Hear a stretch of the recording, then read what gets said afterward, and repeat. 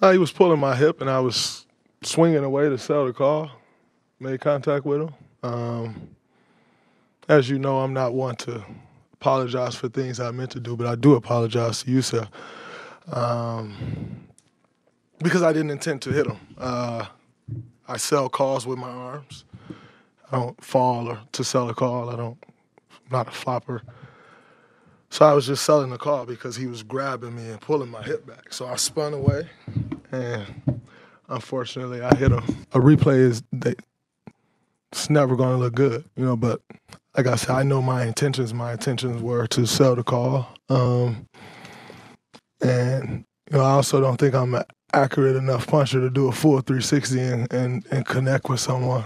Um, so it's unfortunate. I don't know, man. I was behind the play. I don't think what's going on with him. I don't know. Personally, I feel like that brother needed help. And I'm glad he not try to choke me, but at the same time, it nothing to do with basketball, man.